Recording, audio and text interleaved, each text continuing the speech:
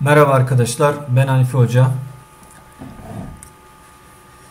LGS öğrencileri için uzun bir aradan sonra arkadaşlar yeni bir video ile beraberiz. Bayağı oldu LGS videosu çekmeyeli. Bundan yaklaşık 2 sene önce LGS videosu çekmiştim. Oradaki öğrenciler şu an 10. sınıfa gidiyorlar. Matematik derslerini çekiyorduk. O yarım kaldı. Umarım en kısa zamanda onları tamamlamayı düşünüyorum. 2020 LGS nasıl olacak? Zor mu olacak? Kolay mı olacak? Biraz buna değinelim. Bu videoyu çekerken arkadaşlar amacım moralinizi bozmak değil ama gerçekleri söylemek zorundayız.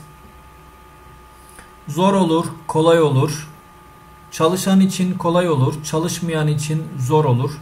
Bunlar çok önemli değil arkadaşlar. Önemli olan sizin çalışmanız, sizin performansınız, sizin gayretiniz, sizin emeğiniz. Sen sana düşeni yaptıktan sonra gerisi zaten artık nasibindir. Gerisi Allah'a kalmış. Ama sen sana düşeni yaptın mı? Ne kadar soru çözdün? Ne kadar çalışıyorsun? Ne kadar mücadele ettin? Bunlar önemli şeyler. Bunlar önemli şeyler arkadaşlar. Bunları yapmadıktan sonra sınav kolay olmuş, sınav zor olmuş. Bunlar ikinci planda. Öncelikle sen neler yapıyorsun? Ne yaptın? Ne kadar çalışıyorsun? Bunları söyledikten sonra 2019 LGS'ye arkadaşlar 1 milyon öğrenci girdi. Yaklaşık olarak 1 milyon 70 bine yakın öğrenci girdi. 2020 LGS'ye yaklaşık olarak yaklaşık olarak arkadaşlar 1.6 milyon öğrenci girmesi bekleniyor. 2006 ve 2007 yılında doğan öğrenciler beraber LGS'ye girecekler. Siz 4 artı 4'ün mağdurusunuz. Maalesef öyle arkadaşlar. Ee, zor bir süreç. Umarım en güzel şekilde bunu atlatırsınız. Şimdi 2019 LGS'nin kontenjanlarına bakalım arkadaşlar. Toplamda 86 bin kontenjan verilmiş. 2019 yılında bunun 42 bini Anadolu Lisesi, 34 bin Fen Lisesi ve 9 bini sosyal bilimlerden oluşuyor. 2019 yılında LGS'de e, nitelikli okullardan birine yerleşmek isteyen bir öğrenci yüzdelik olarak %8 ile 9 arasında yer alması gerekiyordu. En fazla yani en düşük %8,5'larda yer alması gerekiyordu. 2020 LGS kontenjanları daha açıklanmadı. Belki biraz artabilir. Öğrenci sayılarının yaklaşık 600 bin artmasından dolayı kontenjanlar biraz artabilir arkadaşlar. 86 bin olan kontenjan belki 100 bine çıkabilir. Çıkarsa iyi olur. Çıkmazsa sizin durumunuz biraz e, kritik arkadaşlar. Yüzdelik dilimler %6 civarına kadar düşecek. Yani LGS'de nitelikli bir okula yerleşmek isteyen bir öğrenci en düşük %6 civarında yüzdelik dilimde yer alması gerekiyor arkadaşlar. Eğer kontenjanlar artmazsa bu şekilde olacak. 2019 LGS net ortalamaları arkadaşlar. Bunlara bakalım. Matematikte 20 soruda öğrenci 2.8 net yapmış 2019 LGS'de. Fende 7.3, Türkçe'de 9.5'a yakın net yapmış. Bunları neden veriyoruz arkadaşlar? 2019 LGS bu şekilde, 2020 LGS'de bu şekilde olabilir. Belki biraz zor olur mu? Belki biraz zor olabilir arkadaşlar. Neden diyeceksiniz?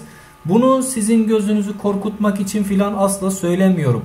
Bunlar biraz gerçekler. 1.6 milyon öğrenci giriyor ve bu öğrencilerin bir şekilde elenmesi lazım.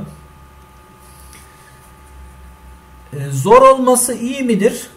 Zor olması arkadaşlar şu şekilde iyi olabilir. Çalışan öğrenci ile çalışmayan öğrenciyi ayırt etmek için Sınavın zor olması iyidir. Zor olması gözünüzü korkutmasın. Çalışıyorsanız zorluğu daha iyidir. Neden? Görüyorsunuz matematikte 2.8 net yapmış. Yani sen matematikte 20 soruda 10 net yaptığın zaman LGS'de bir yere yerleşebilirsin. Bu bu şekilde demek arkadaşlar. Şimdi diyelim ki 2019 LGS'de matematikte 20 soruda e, net ortalaması 15 olsaydı sen 15 netten fazla yapman gerekiyor. Yani bu şekilde daha zor olacak. E, dolayısıyla net ortalaması 3 net. Sen 12-13 net yaptığın zaman e, güzel bir okula yerleşebilirsin demek. Yani zor olması gözünüzü korkutmasın. Zor olması daha iyidir. Eleyici olur, belirleyici olur. 2020 LGS'de belirleyici dersin yine matematik, fen ve Türkçe olacağını söyleyebiliriz arkadaşlar. Matematikte iyi yapan, fende iyi yapan ve Türkçesinde çok az yanlışı bulunan öğrenciler 2020 LGS'de yine kazanacaklardır. Sınav dediğim gibi arkadaşlar zor olur, kolay olur. Bunlar çok önemli değil. Ben, bana sorarsanız sınavın zor olması kolay olmasından iyidir. Yığılmalar olmasın diye e, sınav kolay olursa çok fazla yığılmalar olacaktır. Bu da size zarar verir. Sınav çok aşırı zor olursa bu da kötü bir şey.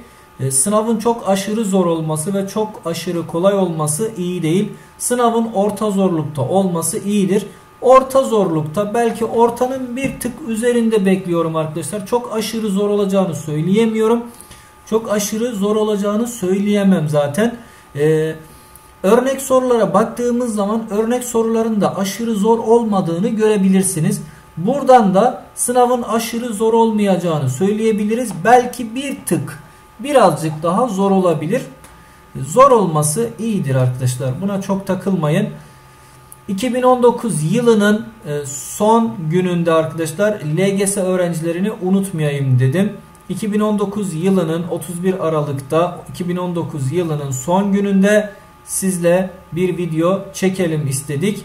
Bu şekilde umarım en güzel liseler sizin olur. Aklınıza takılan soruları yorumlarda sorabilirsiniz. Beğendiyseniz beğen butonuna basmayı unutmayın. Kendinize çok iyi bakın. Hoşçakal.